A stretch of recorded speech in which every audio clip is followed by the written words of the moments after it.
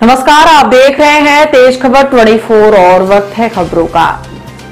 रगे हाथ पकड़े जाने के बाद रिश्वतखोर कैसे अपना रंग बदलता है, इसका एक ताज़ा उदाहरण ग्वालियर में देखने को मिला है, जहाँ पीडब्ल्यूडी के कार्यपालन यंत्री पीके गुप्ता को ग्वालियर लोकायुक्त पुलिस ने पंद्रह हज़ार रूपए की रिश्वत लेते हुए रगे हाथों गिरफ़्तार किया है, जिसमें रिश्वतखोर इंजीनियर खुद को बचाने के लिए रोते, गिड़गिड़ाते पुलिस अधिकारियों के पैर छूते हुए दिखाई दे रहा है। ग्वालियर लोकायुक्त पुलिस की टीम ने बिजली के एक क्लास ठेकेदार महेंद्र सिंह बैस की शिकायत पर लोक निर्माण विभाग के ई एंड एम के कार्यपालन यंत्री पीके गुप्ता को रिश्वत देते पकड़ा है। महेंद्र ने भिंड कलेक्टर के बगले पर बिजली का काम किया था, जिसका करीब तीन लाख रुपए का बिल भुगतान करने के बदले इंजीनियर गुप्ता ने पचहत्तर हज़ार रूपए रिश्वत की मांग की थी। पचपन हज़ार रूपए वो पहले ले चुका था, बाकी पैसों के लिए दबाव बना रहा था, जिसके बाद ठेकेदार महेंद्र सिंह ने लोकायुक्त में शिकायत कर दी और फिर लोकायुक्त ने ईई पी के गुप्ता को रिश्वत लेते रगे हाथों पकड़ लिया।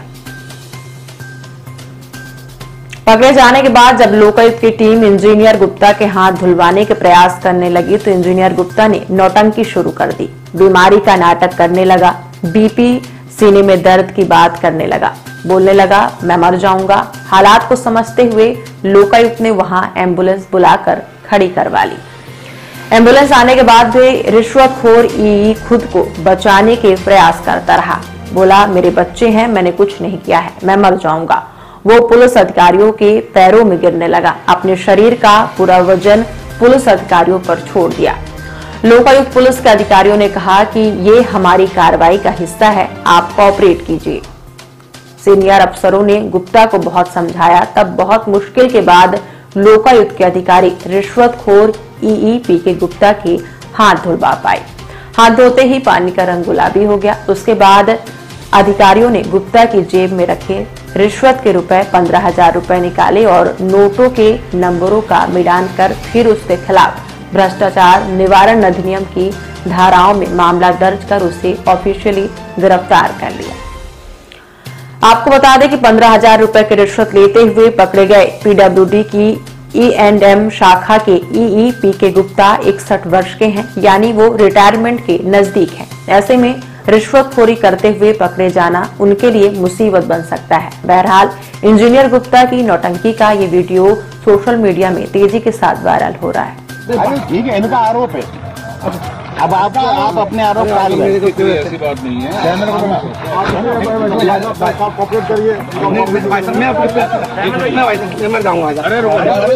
मरोगे नहीं डॉक्टर है। चलो खड़े हो। खड़े खड़े हो जा। नौटंकी छोड़ो।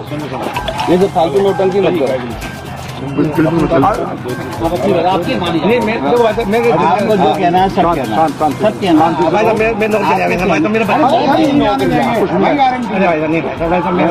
मैंने ऐसा काम नहीं किया मेरे को मालूम था कि ये मैं झूठ बोल रहा कोई बात कोई बात आप शांत रहेंगे आप रिलैक्स करेंगे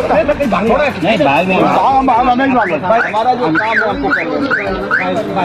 है हमको मेरे को क्या मालूम था कि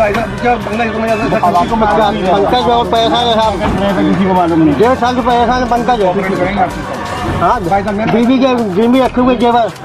उसके बाद उन्होंने ठेका ही कर रहे अरे भाई नहीं बोलेंगे तुम कौन बंद कर लो यार वही तो मैं भाई साहब पैसा आप आप बनाओ आप बनाओ। मेरे मैंने ऐसा सामने से बना सामने।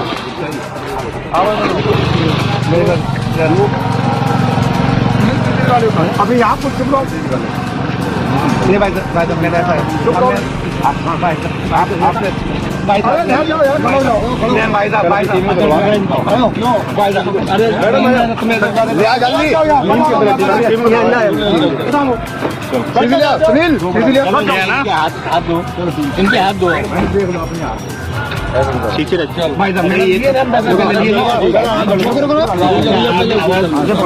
इनके हाथ दो पीछे रख भाई साहब मेरी ये बहुत है करनी पड़ेगी आप शांति रखो नहीं हम थोड़ा पानी डालो अरे पानी डालो तुम नहीं भाई साहब मेरे मैं मतलब हम नहीं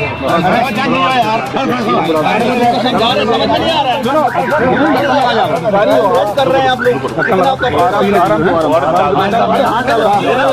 पानी नहीं बहुत हाथ डाल हाथ डाल के दो आराम चलो आराम से आराम धोते रहो धोते रहो जाओ आराम से आराम से यार जल्दी भाई भाई अरे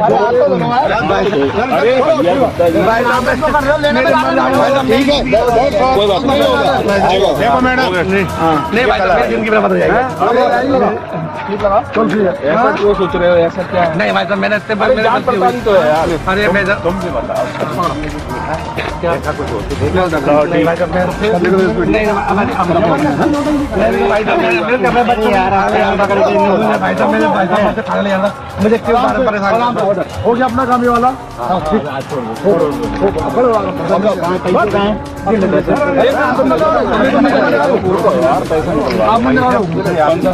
भाई साहब मैंने अब मेरे मेरे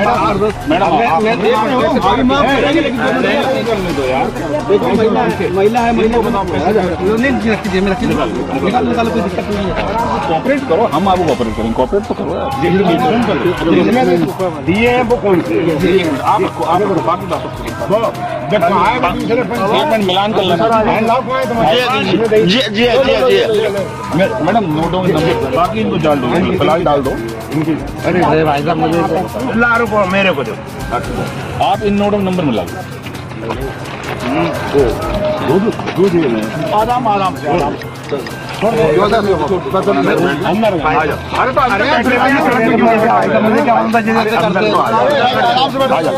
अंदर आ जाओ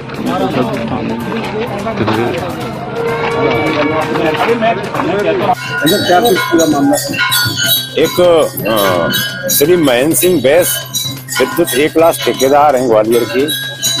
वो उन्होंने कलेक्टर भिंड के बंगले में कोई विद्युत का काम किया था जिसका करीब तीन लाख रुपए का बिल ये उनका पेंडिंग था। उस बिल को पास करने के संबंध में ये कार्यपालन यंत्री हैं श्री पी के गुप्ता जी। डिवी, डिवीज़न ग्वालियर में ई एंड एम जो शाखा है पीडब्ल्यूडी की उसके उनके द्वारा सत्तर हज़ार रुपये की मांग की गई थी।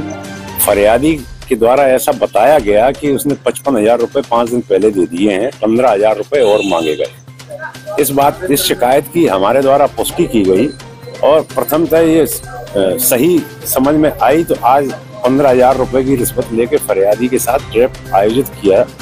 उसमें पंद्रह हज़ार रुपए रिश्वत लेते हुए श्री पी के गुप्ता जी को पकड़ा गया है मेला ग्राउंड में जो इलेक्ट्रिक कैंप है उसके सामने। क्या अभी तबीयत तबीयत खराब हुई कुछ हाँ? कुछ घबरा बीपी के पेशेंट हैं तो एहतियातन हमने डॉक्टर को बुलवाया उनका एमएलसी भी करवाया दवा भी दी है। बीपी कुछ थोड़ा सा सामान्य से ज़्यादा है। हो गया जी। हो गया मामला ट्रैप हो चुका है लेकिन लिखा पढ़ी अभी हम लोग कर रहे हैं। कैसे क्या मतलब आपसे पैसे की डिमांड की गई थी क्या हुआ था? क्या है मैं ठेकेदारी करता हूँ। तो अभी हमने बिंड में काम किया था कलेक्टर साहब के बंगले पे। तो वहाँ मेरा रनिंग बिल था दो लाख बहत्तर हज़ार। तो इन्होंने मुझे फ़ोन करके बुलाया कि तुम्हारा बिल मैं निकाल रहा हूँ आप मुझे अमाउंट दे दो। मैंने कहा बताओ आदेश करो क्या करना है मुझे? बोले पचहत्तर हज़ार रुपये लगेंगे। पचहत्तर तो बहुत ज़्यादा है। पचहत्तर तो बहुत ज़्यादा है। ये कुछ गुंजाइश देख लो आप लोग। बोले नहीं आपको बिल चाहिए नहीं है। मैंने साहब बिल तो किसको पैसे की ज़रूरत नहीं होती? त्योहार का टाइम है मुझे लेबर को भी देना है। ये बोले आप पैसे जमा कराइए। तो मैंने कहा कितने करा दूँ? बोले पचहत्तर हज़ार। मैंने कहा, मेरे पे अभी नहीं है। कम है। तो परसों दो तीन दिन पहले मैंने उनको पचपन हज़ार रुपये भेज दिए थे। इनके घर भिजवाए थे बेटे के हाथ पचपन हज़ार। रुपये फिर उनका फ़ोन आया परसों मेरे पास पैसा देने के एक दिन बाद बोले पैसे कम है आप पैसे और भेजिए। मैंने कहा मेरी बच्ची बीमार है अभी घर पे मैं एक आध दिन में दे दूँगा। तो ये जिद कर गए कि नहीं साहब पैसे अभी चाहिए। तो ये कल पैसा मांगने आए तो मैंने लोक आयुक्त में इनकी शिकायत की थी। मैंने साहब मैं बहुत परेशान हूँ और ये मेरे को बहुत तंग कर रहे हैं। तो लोक आयुक्त ने मुझे मेरी मदद की। कल इनकी रिकॉर्डिंग हुई यहीं पर मेले में ही। और आज ये फिर पैसा लेने आए ये ट्रेस